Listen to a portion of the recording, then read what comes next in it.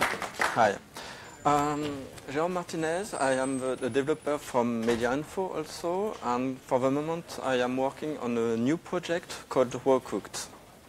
RawCooked will co uh, convert some raw file uh, into Matroska, uh, FFV1 and FLAC. So Matroska for the container, FFV1 for the video, and FLAC for the audio. Uh, some word about FFV1. Uh, FFV1 comes from the FFmpeg project. It is a lossless video compression format. It is completely open source and patent free. And it, uh, being patent free is very important for the archive. They don't accept uh, H.264, for example, even uh, if there is a lossless mode, because we need to have no patent risk about that. Um, it is adopted already by several archives. And uh, the missing thing about FFV1 is that there is no currently standardization. So we are working with IETF about standardization. And uh, a big thing about FFV1 is it, uh, the frames can be divided by slice. So if we lose some content uh, in the, during this, the, the, the, storage, we lose only one slide, uh, one slice, and not one frame and we have uh, a lot of checksum. Uh, there is uh, there one there is one checksum per slice, so we can know uh, exactly when something is lost. Um, the standardization uh, at IETF um, uh, Steve has already spoke uh, a bit about it, and uh, there is Matroska for the container FFV1 and FLAC. It is the FFV1 part is well advanced. We we hope to have a standard uh, at the next IETF, and uh, in London, I think, and. Um, but we need some external review, so we need help about reviewing the, the specification we provide. And um, if all going well, we standardize the current version of FFV1, and we can work on FFV1 v4, the next version with more uh, improvement of, uh, of the compression. Uh, for the moment, with FFV1 version 3, we can have some good compression. Uh, I have an example with one second, for example, of uh, 10 bits HD um, film. Uh, on, uh, on my computer, uh, if I store the file only with some tar or zip uncompressed, this is something the archive do, usually because they, they don't want to have a big impact when some bytes are lost, and it, it may happen during archiving. Uh, one second of that is pretty big, it is 200 megabytes. If we compress with zip or LZMA, it is not very good, it is very slow, it, uh, it does not compress very well. And if we use something uh, adapted for uh, video world, and we have a good uh, compression ratio, nearly uh, divided by two in that example, and uh, pretty quick. So on my machine, it is not completely uh, real time. If we, you have a server, it is real time without any problem. Um, so the advantage with this method and uh, we use, uh, the uh, archive currently use FFmpeg when they can, it is open source and free, good. Um, with FFV1, depending on the source, uh, we have a, ratio, a, compression ratio between 1.5 and 3. Where we are, have with FFmpeg um, also uh, a checksum by cluster. So um, Steve showed it uh, a bit sooner. Um, Matroska files cut the uh, the video frames by, uh, by for example, one second cluster. And uh, in that cluster, there is some checksum, CRC32 actually. So we can know when there is some transmission issue or storage issues. We, are, we have also the checksum by slice. And uh, with FFmpeg, you can choose exactly how many slices you can have per frame. So mm, this is good to have a lot of slices because if you lose one byte, uh, you, you can complete slice. A drawback uh, for having a lot of slices is that the compression ratio is not is less good so you need to choose between compression ratio and security when uh, be, uh, when you choose the content of, of slice you have. The files are natively playable by uh, VLC and FFmpeg and so on. So there is some difficulties with VLC and uh, some video. so for example, the 6 bits per component um, uh, video, uh, there are some difficulties for the moment for VLC, but they are working on that. Thank you.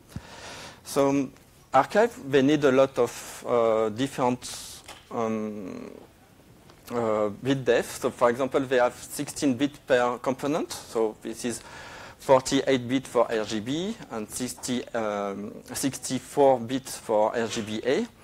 And it is pretty big, so storing that, and it is sometimes difficult for some tools, but we are working on improving, improving the, um, the speed of decompression and so on. Unfortunately, there are some drawbacks with FFmpeg alone um, because FFmpeg does not care about all the metadata beside the video.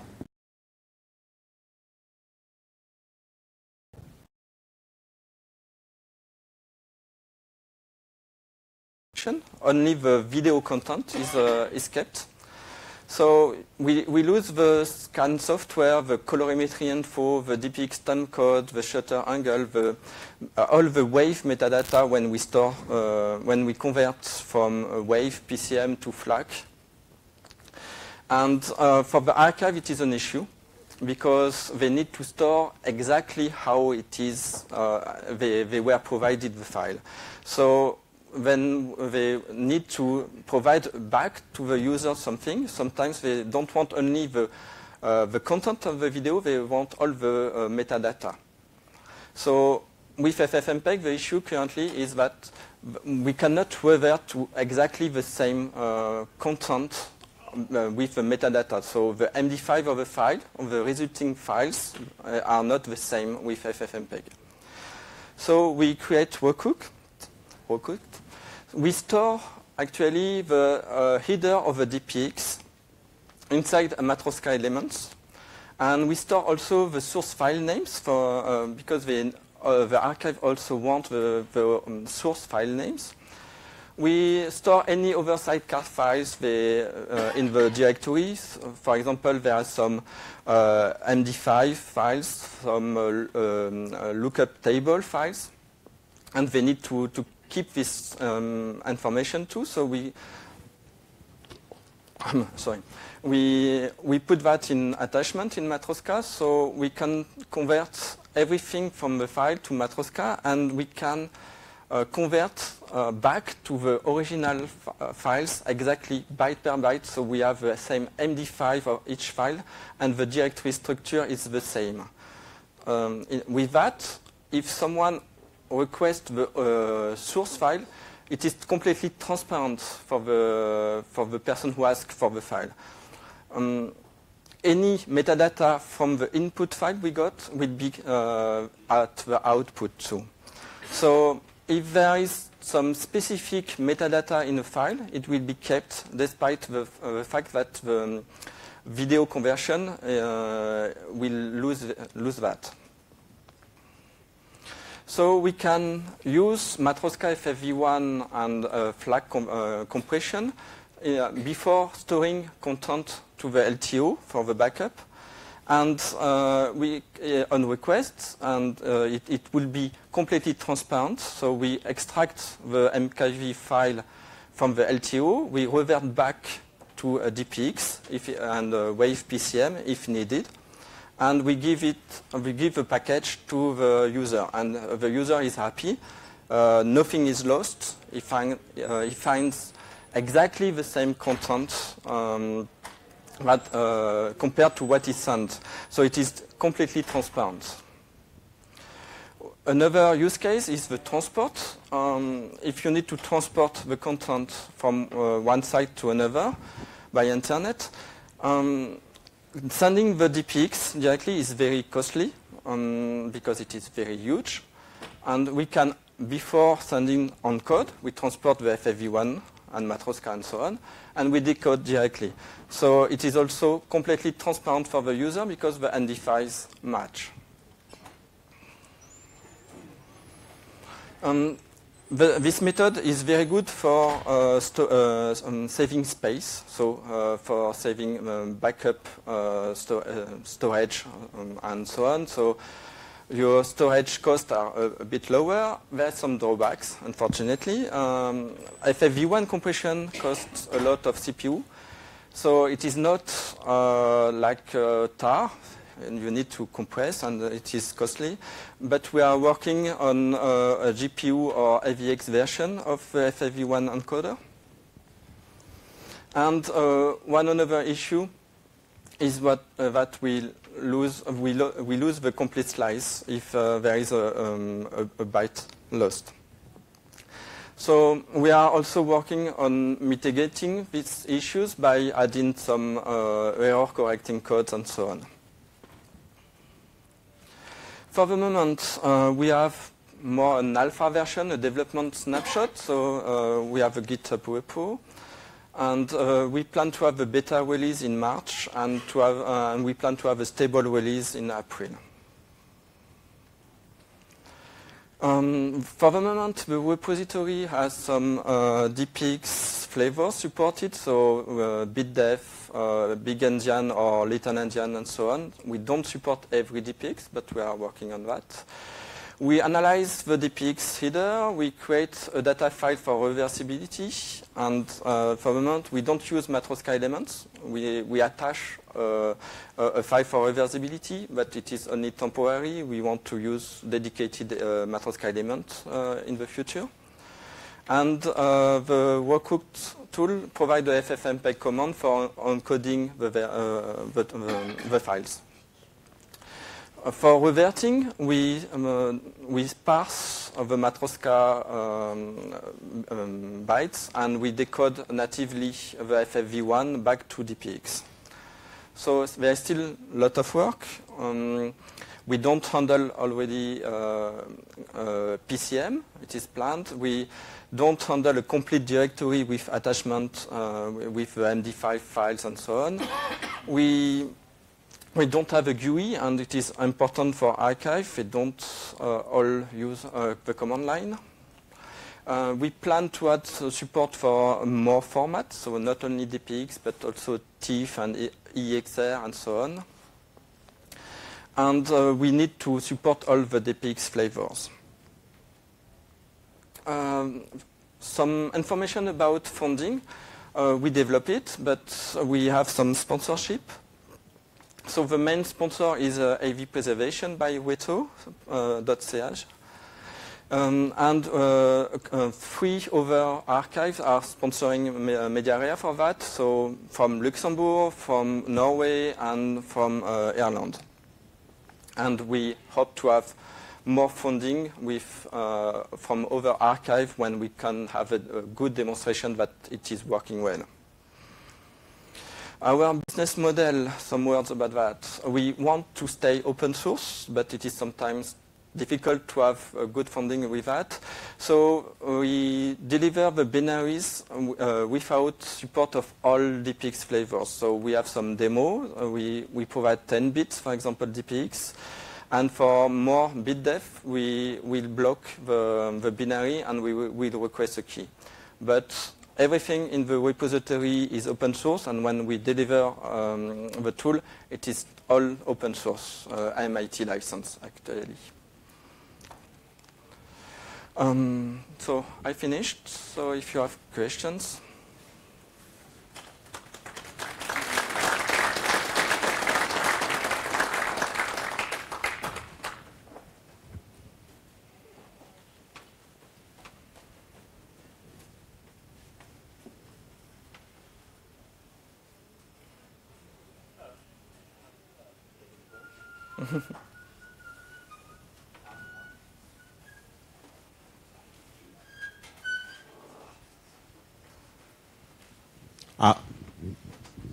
Okay, I just wanted to ask the FFV1 format, do you know how it compares to lossless VP9? Because I know that also does lossless compression. Uh, no, we didn't check uh, lossless VP9, um, but in my opinion, with VP9, it is a bit risky about patterns. So uh, VP9, uh, if you modify the specification, uh, you're dead because Google has the, as far as, uh, as I know, Google has an agreement with the patent pool only for the bitstream actually in VP9 and we cannot expand it. Uh, uh, and as far as I know, there is no 16 support in VP9, so this is a no-go for us. We need Okay. 16 support, 16-bit support.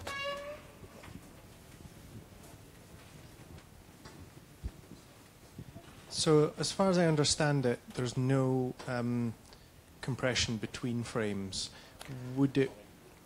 Hmm? Hmm. Correct. Correct, Um, correct. Would it not make more sense to have compression between frames and then use more heavy uh, Mm. error-correcting codes? Um, this is correct for RawCooked. Uh, there is no P frame, for example. Um, this is wanted because we, uh, for the archive, we don't want to have an impact from uh, um, a byte lost up to the next frame. So if we lose one, uh, one byte, we want to have an impact only on one slice. And uh, FFV1 actually permits to have some uh, P-frame thing. So th- there, there is something in FFV1, but on our side in RawCooked, we don't use it. Uh, the, the compression performance is better when you link from one frame to the next ones. It is a lot better to uh, compression, but if you lose the first fr- uh, frame slice, you lose the next frames or slice, and we don't accept that in archive. But if you did um, long-range um, error-correcting codes, like on the scale of a frame, then you could perhaps reconstruct the frame. It, it is possible with some error code, but in all, all cases, there is still an issue that if we lose one byte and if we, we lose too many bytes, we, we will lose too many uh, content, too much content. It is an archiving point of view. They prefer not to use it. It would be possible if they uh, want. It is only a flag. But uh, for the moment, their decision is to stay with one uh, wi- with Antwerp frames. But it is pos- it will be possible if archive are interested. Still want it? I just wanted to say something. Okay. Any other question?